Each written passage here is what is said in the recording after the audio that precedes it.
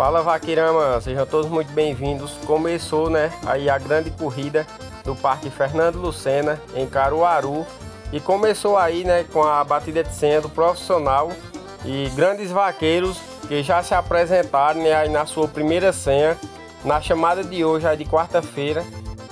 E o vaqueiro Renan Tobias, é, montando o cavalo Pokémon, né, já se apresentaram aí na sua primeira senha e não tiveram aproveitamento né, na primeira senha.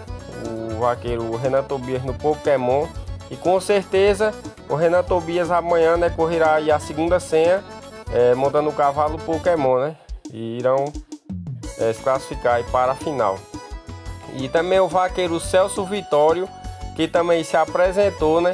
Aí montando o cavalo Dom Diego Fly, também não teve aproveitamento na sua primeira senha que se apresentou, né? E acho que ele também irá correr a segunda senha do Diego Fly amanhã, né? Aí na corrida do, do Parque Fernando Lucena. Boiada aí muito boa. E, e é isso aí, vaqueirama. Esses dois vaqueiros que até o momento correram, não tiveram aproveitamento na primeira senha. E já agradeço a vocês em acompanhando todo o nosso conteúdo, se inscrevendo no nosso canal. Valeu, tamo junto e é nóis.